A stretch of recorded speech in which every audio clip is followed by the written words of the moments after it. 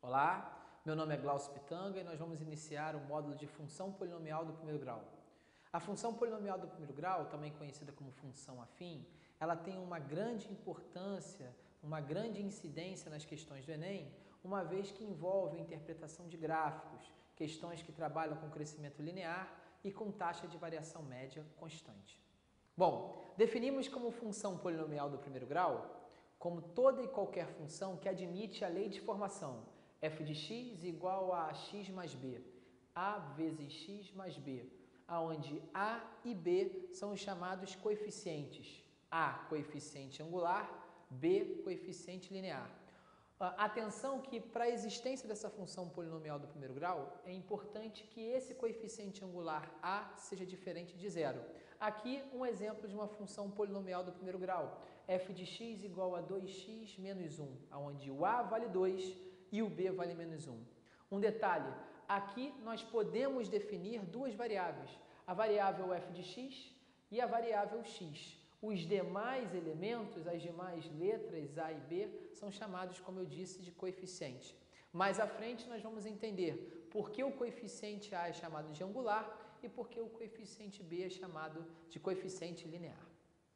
Aqui temos mais dois exemplos. O exemplo de uma função do tipo f de x igual a x, com o a valendo 1 e o b igualando a zero, b sendo zero. E um segundo exemplo de f de x igual a 2x, onde a é 2 e b é zero. A essa primeira função nós damos o um nome especial de função identidade. Ela tem algumas, algumas propriedades muito importantes que logo após nós iremos estudar.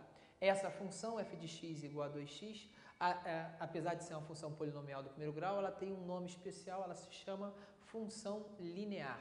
O a valendo 2 e o b valendo zero. Característica da função linear. Toda função do tipo linear tem o a diferente de 1 e diferente de zero, obviamente, e o b obrigatoriamente tem que ser zero. Na função identidade, a função identidade é somente essa, f de x igual a x. O a tem que ser 1 e o b tem que ser zero. Aqui, como último exemplo, nós estamos definindo uma função f de x polinomial do primeiro grau do tipo 5x mais 4, com o a valendo 5 e o b valendo 4. Aqui, essa função ela também tem um nome especial, ela é apelidada de função afim, e tem como características o A ser diferente, obviamente, de 0 e de 1 um, e o B ser um número diferente de zero. A função afim é a função considerada a mais completa das funções, das famílias de funções do tipo polinomial do primeiro grau.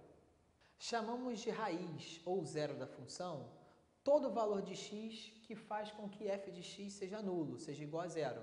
Então, repare, se eu tenho uma função do tipo f de x igual a 2x menos 4, lembrando, o a valendo 2, o b vale menos 4, para eu considerar, para eu encontrar o valor de f de x nulo, se eu considerar que f de x é zero, tenho que essa função 2x menos 4, ela será zero. E aí eu passo a ter uma equação de primeiro grau, ou seja, se 2x menos 4 é igual a zero, é porque 2x vale 4 e porque x vale 2. Repara que se eu pegar esse valor de x e substituir na função, no lugar de x, eu vou ter 2 vezes 2, 4, com menos 4 dá zero. Encontrei um valor de f de x nulo para x igual a 2. Repara que nesse momento eu tenho um plano cartesiano com os valores x, os valores da abscissa, os valores de y, os valores da ordenada, e definir aqui uma reta. Né? Repara que nessa reta eu constituí, eu mostrei, eu defini o mínimo de pontos para se formar essa reta.